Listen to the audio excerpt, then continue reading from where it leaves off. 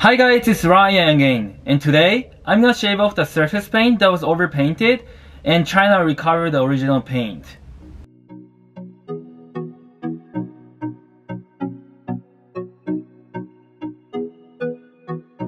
Okay, so I'm gonna do this part.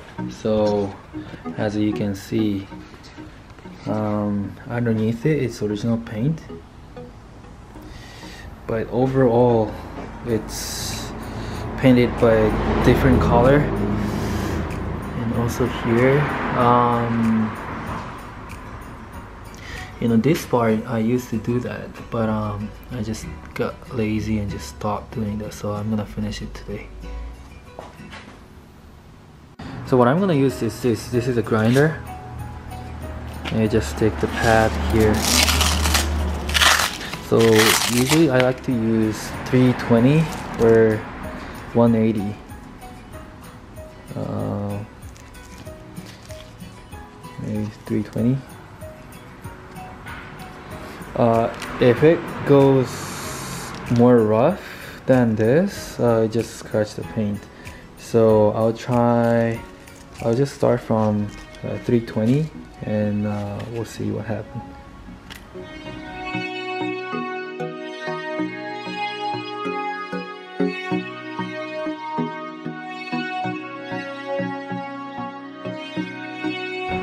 Alright guys, look at this paint.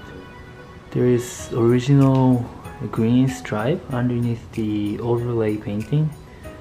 Um, I think uh, 320 is a little bit rough so I think um, I'll just change it to a little bit more fine grit and for these stickers I can just use uh, this laser blades um, I can just buy in any hardware store. And I can just you know scrape it like this and uh, take it off.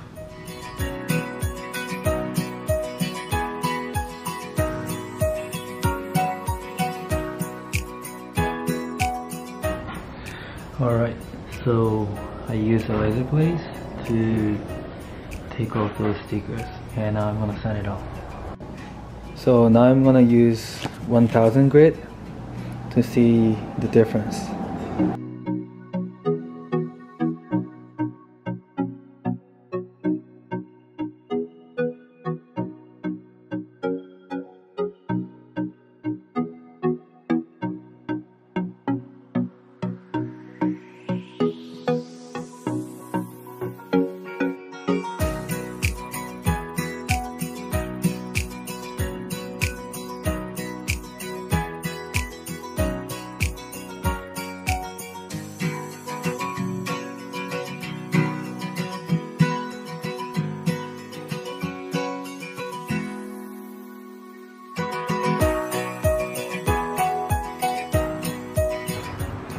Alright, so here's the result. Um, this is in progress still, but uh, you know you get the idea. Um, so underneath was original paint, and this uh, light green is overpainted part.